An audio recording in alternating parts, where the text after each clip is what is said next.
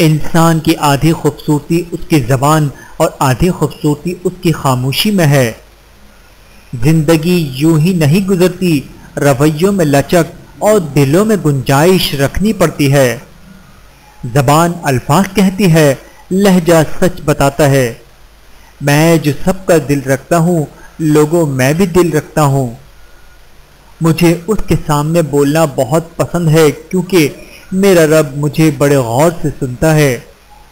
लगेगी आग तो आएँगे घर के ही जद में, यहाँ पे सिर्फ़ हमारा मकान थोड़ी है। दूसरों के लिए आपके दिल में नफरत का होना आपकी कमज़ोरी की निशानी है।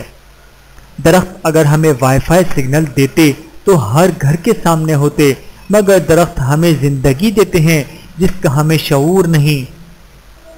चिड़ियों की तरह हम भी शजर छोड़ जाएँगे तरसेंगे लोग, फिर कभी हमारे शोर को। इल्म की तलब से शर्म ना करो, क्योंकि जहालत ज़्यादा बायस शर्म है। मंजिलें कभी किसी के घर जाकर हाजिरी नहीं देती, रास्तों पर चलने से रास्ते निकलते हैं। शाम ढले मुँह ढांप के सोना सूरज की मजबूरी है, अपनी खुशी से कौन ये चाहे, उजले दिन को रात करे।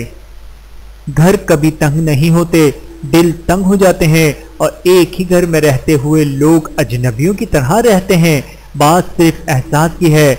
दुआ है कि अल्लाह पाक हम सबको हिदायत अता फरमा और एक दूसरे का एहसास पैदा फरमा दे। आमीन। आइनों की दुकान पे लिखा था, आप अंधे हैं तो आईना मुफ़्त है। बस इसी बात पे झगड़ा है मेरा दुनिया से। पेड़ के साय को फल क्यों नहीं समझा जाता? कुछ न समझना, गलत समझने से बेहतर है।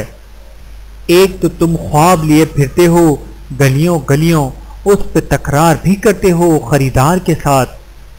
बचपन में बड़े होने की ख्वाहिश थी, अब वही बचपन बहुत याद आता है।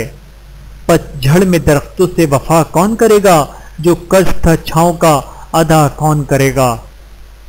हर बात में अल्लाह का ज़िक्र करोगे तो हर काम में अल्लाह को अपने साथ पाओगे। अपने हाल पर मुतमिन रहिए, मवाजना सुकून छीन लेता है। और फिर सबर की मंजिल तो वही तय करते हैं जिनमें यकीन करने का हौसला हो। अल्फाज चाबियों की मानंद है और उनका सही इस्तेमाल करके लोगों के मुँह बंद या दिल खोले जा सकते हैं।